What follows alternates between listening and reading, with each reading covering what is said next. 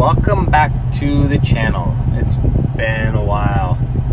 It's just so miserable down here in Phoenix that it just, it's not even worth getting out and playing. The cars are running hot.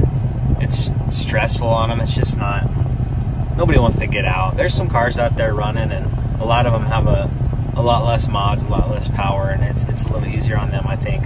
Some of the big power cars, um, there's there's not many of them coming out and it's just a downtime right now to do some mods, change some things up. So I've been laying low, um, working on some things, trying to find out why we had a misfire for so long, and um, we ended up finding a few a few things that needed to get changed on the car. You know, as you add more more power, gotta have more fuel, so we had to get the bigger injectors. Now we got more more fuel, more power. Spark Spark is having issues, so we're trying to find out what the hell is going on. Well, more power, more spark, um, bigger fans, bigger pumps. Alternator's not keeping up. Voltage kept dropping. We're like, damn. So swap the alternator out. Um, this thing runs at about 150 amps, I guess, and then kicks up to 220 when it needs it. Threw that thing on, got more more uh, voltage to the controller, to the computer, but then I'm still having fluctuations. And I'm like, what the hell's going on? Well, then the car wouldn't start. Like, what in the hell? You know, it's frustrating, you know. So, um, what we ended up doing, ended up, sorry, I'm trying to park right here. Um, what we ended up doing, well, I pulled pulled the car up, started looking at it, trying to figure out what the hell's going on, and uh, my freaking starter's jacked up. Come to find out, it's kind of a, a, common thing on these when you get headers on them and you don't have any way to protect it, or you don't have any protection on it. The front end, the whole top of it melted off. It's weird. Um, so it'd been goofing with me here and there for about a week, and I'm like, what the hell? Well, starter's toast. So I get a starter throw another starter in, and um, when I'm under there looking at it, I see that the wire to the alternator has a, a freaking connector melted to it. What ends up being one of my old uh, O2 sensors that was just there, and it melted to the starter wire. Uh, some of the starter wire had come apart, um, the sheathing on it, so they ended up connecting somehow. So I'm thinking that's where we're getting our irregularity with spark and power and sparked it, the coils and everything is through that. So replace the starter too. And then we're like, damn, you know what? Let's just go through. Um, we've been replacing a couple uh, of the uh, coils here and there, trying to find that misfire we had in cylinder seven that we've been fighting. And I haven't really, really honestly been working at it the last couple months. We've just been doing stuff around the house and, um, well, come to find out, we're like, screw it. Let's just, uh, Dr. Bill over there at AEM says, let's just swap the whole coil pack, each side. So he pulled them, nice guy he is, he pulls them off his truck, puts them on my car on the dyno and says, that's it. So we swapped one side and then he takes, you know what, let's just swap the other side. Swap the other side.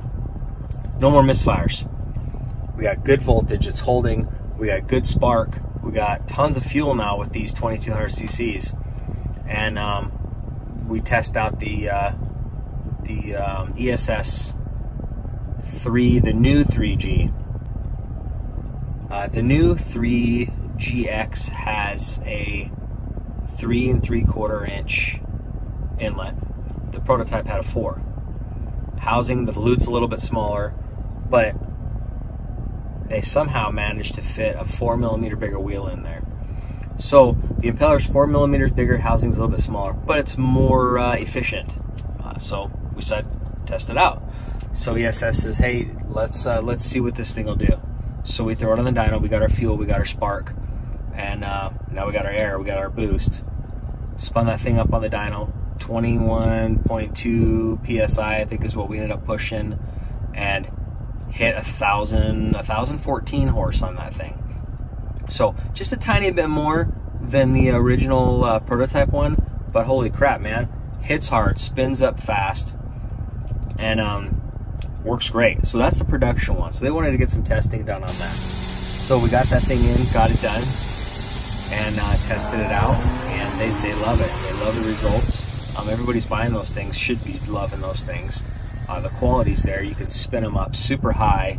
Uh, the gearing is set so you don't have to run a tiny little 3.125 or a 3.2 pulley. Uh, you want a thousand horse, 3.3 pulley. You want to keep it a little more chill, run a bigger pulley, run a 3.7 or they go by millimeters. So mine's an 85 millimeter, run it up to a, a 90 millimeter, a 95 millimeter.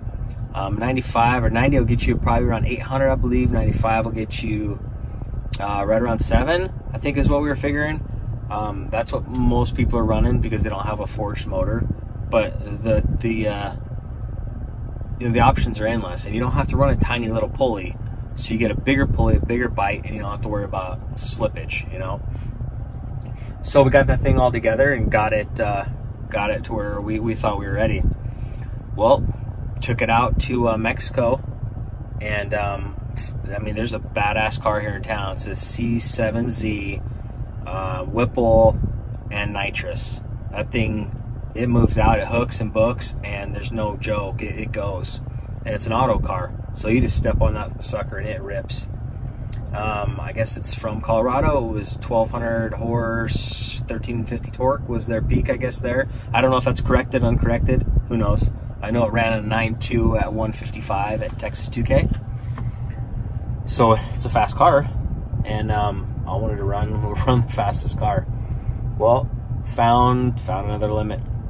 My uh, the uh, the clutch. I have a thousand horse clutch in there at the crank, and it finally decided that was that was enough. So it we got some good slippage in third, and then it just totally slipped out in fourth. Come to find out in fourth, also when I hit it, I blew out the bottom of my uh, my little poly tube coming down from the supercharger. So found a limit of that too. Took an L. Those guys are awesome. They had a great car that came ready to rip, and, and they did. So um, now it's time to uh, replace the little poly piping. I picked that up today. Get that thing in there and, and get this car back back running perfect again. It, it's running great. It's just getting the uh, finding the little things you know that that end up popping or breaking or and we've got everything replaced. So it's just these little minor things that I got to adjust and, and, account for, and I think we're going to be ready next time for them. Um, they're they're ready for a rematch. The car's ready to go all the time. It seems like so. We'll um we'll line that thing up again here soon. I'm gonna go back home, start working on this. Just get this poly piping swapped out and uh, get myself some one stop here real quick. Get a PBJ, and we'll get this car going.